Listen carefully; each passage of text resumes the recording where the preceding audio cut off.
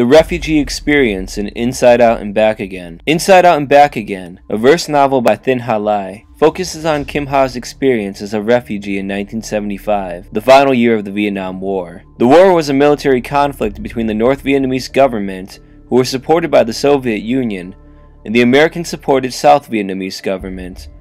The war devastated much of the country, including Saigon, the city Kim Ha lived in. She and her family members are forced to abandon their home and board a Navy boat out of the country with countless other families. On board, she hears. The whispers among adults, the bombs in the ever greater distance. She hears. Helicopters circling, circling. Above them, the people panic, certain they are doomed to perish. As the ship sails away, the captain informs the passengers that it's over. Saigon is gone. Despite the captain's bitter words, life in Saigon is still vivid in Kim Ha's mind. Saigon will never be gone. Saigon is still the city where her family sent her to afternoon and weekend classes for a better education. Saigon is still the city of bustling markets where she could buy toasted coconut, water spinach, and grams of pork for her family.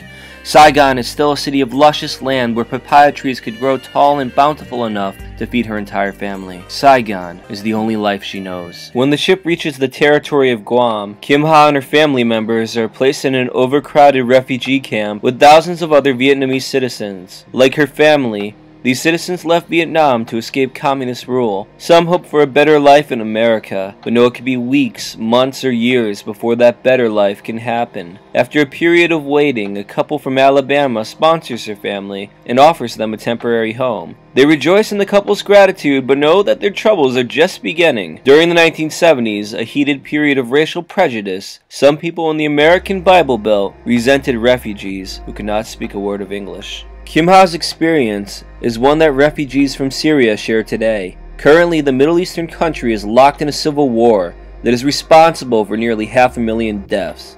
The war has forced millions from their homes and into crowded refugee camps. They too are waiting for a better life. Many have already found one in America and European countries such as Germany and France. When they do find a home, they often face discrimination from people who do not understand their culture or purpose for entering the country. Like Kim Ha, they feel fortunate to live in a quiet suburbia where the word tomorrow is more than just a distant hope.